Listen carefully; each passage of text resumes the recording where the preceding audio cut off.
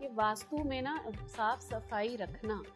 जैसे हम कहते हैं कि आप भले ही वास्तु बहुत डीप में ना फॉलो करें, कुछ चीज़ें, जैसे कि घर में प्रॉपर हवा का एनर्जी का सर्कुलेशन मतलब वेंटिलेशन प्रॉपर होना चाहिए। साफ़ सफ़ाई रखिए। घर में खुशबू, कभी धूप बत्ती कर दी तो घर में खुशबू का संचार होना चाहिए। है, और रिपेयर मेंटेनेंस जो जनरल होती है, कि घर में पानी नहीं टपकना चाहिए, दीवारों में सीलर नहीं, ये जनरल चीज़ है। आप वास्तु को गहराई से ना भी फॉलो करें तो इतनी चीज़ भी करेंगे तो आपके घर में एक पॉजिटिव एनर्जी बनी रहेगी। तो ये जो आपने बात कही कि गोल्डन टेंपल में मतलब हज़ारों की तादाद में लोग आ रहे हैं दर्शन करने पर, हमेशा साफ़ सफ़ाई बनी हुई है। ये भी अपने आप में एक पॉजिटिव एनर्जी को क्रिएट करके रखने का, उसको बनाए रखने का, ऊर्जा को बनाए रखने का एक बहुत ही इम्पोर्टेंट वास्तु नियम है। और आप जब भी गुरुद्वारा में जाएँगे, आप देखेंगे लोग का सेवा भाव वहाँ पर इतना ज़्यादा है। छोटे से लेकर बड़ा आदमी वहाँ सेवा कर रहा होता है।